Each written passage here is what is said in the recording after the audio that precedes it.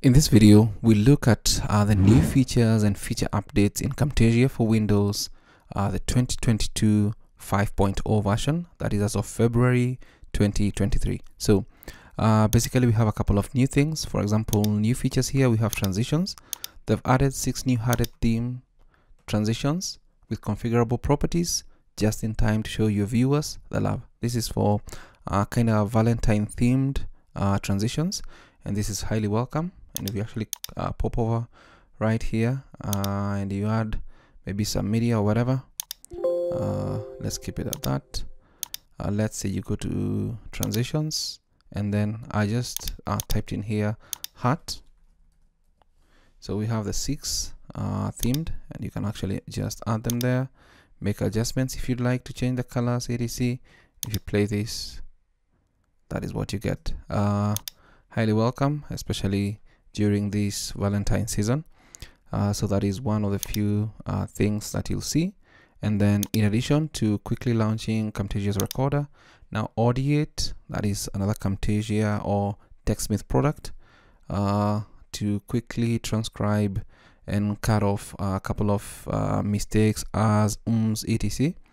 Uh, you can now, uh, the Audiate and Snagit recorders can be launched directly from the Camtasia editor uh, so you actually open this up.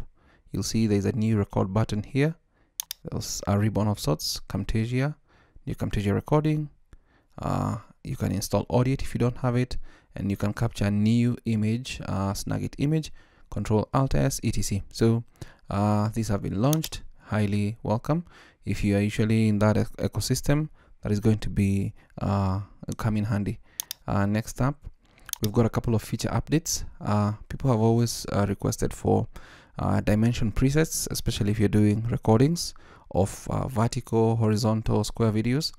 Normally uh, the horizontal videos uh, landscape kind of views that was not an issue. But now let's say we go here. Let's click on record.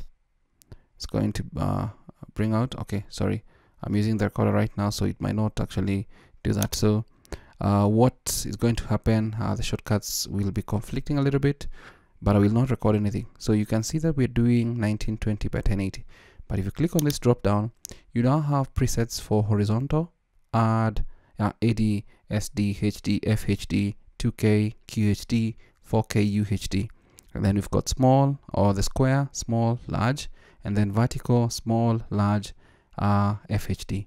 Highly welcome uh, to have these presets ready to go. Click on any preset. It actually adjusts this to what you want it to be. Uh, 1080 by 1920. Let's go for the small. Uh, looks like that, but you may not really see it right now on screen uh, because of uh, the different options. Or probably there could be a bug. I think there could be a bug because you should be able to see the outline here. Let's see horizontal yeah i think there could be a bug of sorts because uh, the way they are appearing uh, this looks like the lower end of it. Yeah it looks like it it's appearing up there. Uh, that's why we're not getting to see it. Could be a bug if I'm not mistaken. For example this section should not be there. Uh, if we actually bring this down let's see if we're going to see any change. Could be a bug. Uh, definitely that could be a bug uh, but simply put we now have the presets right here for you to choose uh, what you want to do. So that is highly welcome. Next up uh, we've got an update for Lottie files. They've added the ability to adjust solid colors and uh, color fills and strokes of Lottie media on the timeline. And I have a media on the timeline that is a Lottie file uh, this particular file right here. So uh, with Lottie files you can actually scale them etc uh, and if you actually play this is what it looks like. So if you click on this let's actually just move this to the side a little bit. Uh, you can see that uh, we've got some colors here. You can change the colors change that to whatever you want. Uh, let's say we change this one as well. Uh, it changes this one and then we go for this one. Let's say maybe we go for uh, a yellow and then we go for this one. You can actually go for go for whatever color that you want let's say that. So uh, when we look at this play it. You've already changed the colors uh, for uh, the different uh, colors available for that particular lottie file. So that's highly welcome. Uh, and then uh, added uh, on the canvas center anchor context menu option to reset position of a media's anchor point to its default. And then we've got uh, added ability to constrain media along vertical or horizontal axis when dragging on the canvas by holding down shift while performing the drag operation. So for example let's say you want to constrain uh, to this uh, horizontal. So if you actually press on shift even if you go up it will not go up. It is constrained to that horizontal movement. So that is also highly welcome uh, completely revamped uh, project dimension presets support horizontal vertical resolutions uh, contexts uh, click anywhere on the canvas and choose project settings and use the dimensions drop down to choose the, the desired video dimension. So when you're in here you can actually right click project settings and then you can choose whatever you want uh, right here. We have uh, the horizontal to correspond to what we want the square the vertical etc it really depends on what uh, video you're working on uh, the dimensions that you're working on. That's highly welcome as well. Uh, what else? Cursors. Uh, we've got a couple of new things for the cursors. Uh, there's now the ability uh, to add custom cursor images. So added ability to import custom cursor images that can replace cursors in a Camtasia screen recording or when using the cursor path create a visual effect so you can use that for either of those. Added the ability to set custom cursors anchor points position during the properties using the, prop the properties panel uh, cursor crosshairs UI or input fields. Added ability to edit previously imported cursors via the properties panel.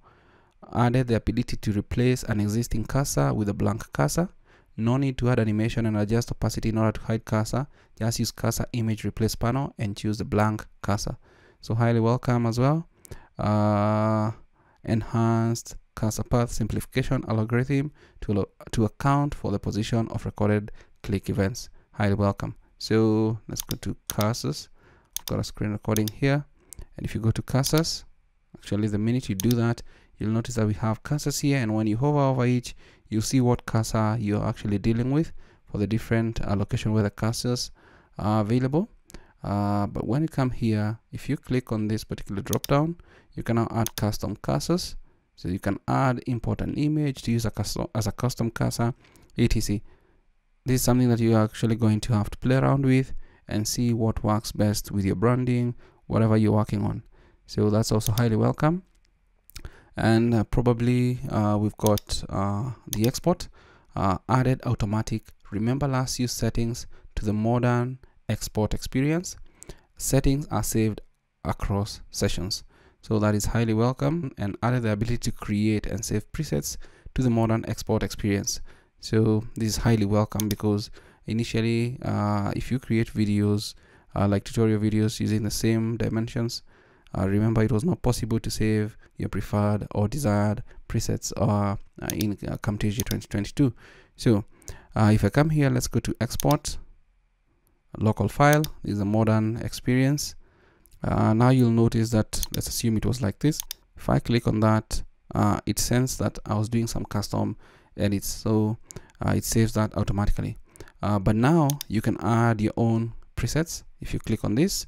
Uh, but what you need to do first because before you actually save that is set the dimensions you want.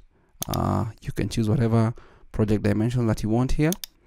The encoding you can set use GPU, GPU encoding uh, the frame rate uh, let's go with like 30 because that's what we're working with for the project. 30 and then you go to audio. Uh, looks good. There's nothing to change there. Encoding looks good there. Dimensions looks good. And then if you want to save this as a custom click on this plus. And then let's call it tutorial because it's for maybe tutorial videos. Let's say HD click OK so that's the preset we have. So every other time we have that. Not sure it's defaulting to, to 60 FPS even after I've done uh, that particular change. Audio. Then click on export if you're satisfied. So uh, that is what it looks like. Uh, anytime actually cancel and then go to export. Local file. Just come here. Tutorial HD it uh, picks up uh, your settings etc. And then once you're done click on export. So we'll make life easier and all that. Uh, anything else? Uh, tools. Change the order of tools. Um, appear in the left hand tools panel and remove interactivity item from tools. Interactive items can still be added using the timeline quiz track. I believe this could be this particular section. I believe that is what was removed if I'm not mistaken. Uh, I think so. And I think favorites have been brought up up here but uh, those are some of the few things that are new. Uh, and obviously some bug fixes right here. Etc so we've got a, a ton of things. Uh, it's now uh, possible to uh, have presets available for recording. That is horizontal vertical square. And then we've got you can now start uh, the Audiate or Snagit recorders uh, straight from uh, the Camtasia, Camtasia editor. And then we've got uh, the Lottie files. You can change solid colors and strokes on the Lottie media on the timeline. And then we've got uh, the canvas, obviously. And then we've got the cursors. And uh, we also have the export where you can create and save presets to the modern export experience. So all those are highly welcome uh, that's it for this video and that's just what's new the new features and the new feature updates in Camtasia for Windows 2022.5.0 I hope this video is of value to you. Thanks for watching